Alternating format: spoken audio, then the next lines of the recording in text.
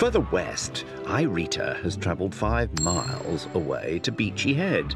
Towering 162 metres above sea level, for hundreds of years the chalk headland has been a prominent landmark for sailors. However, all too often, the cliffs and the rocky seas below were a danger to vessels, leading to wrecked ships and lost lives. Rita has come to talk to writer and speaker Rob Wassell.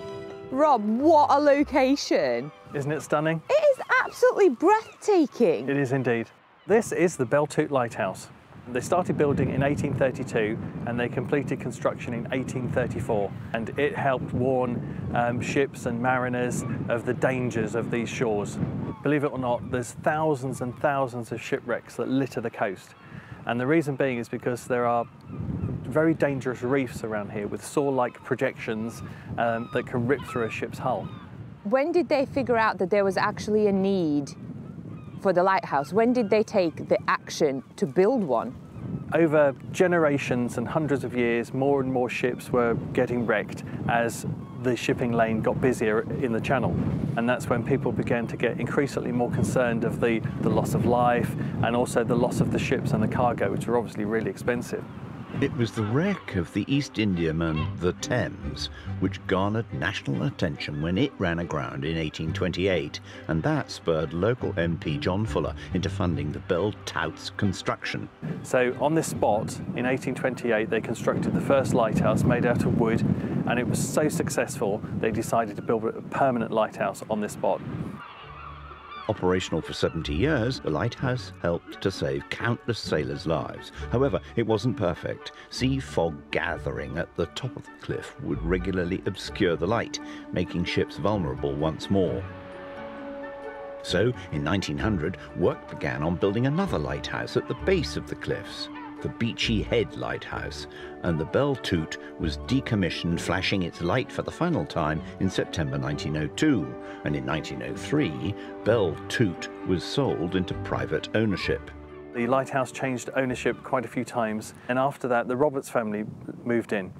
As soon as they moved in, they knew they would need to do something because of its close proximity to the cliff edge. The average rate of erosion is around 60 centimetres a year. Originally, when they built the lighthouse, there was um, a sufficient amount of land in front of it, but over time, that area was diminished, and um, as the lighthouse got closer to the edge, that's when they knew it was going to be really dangerous. One fateful night, they were in bed, and they heard this rumble like thunder, and they knew exactly what had happened.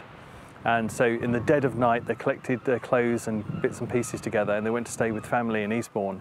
And it wasn't until the next day that they came back that they saw that 15 metres of cliff had just gone in one go. What, right in front of it? Yeah, massive, massive cliff fall.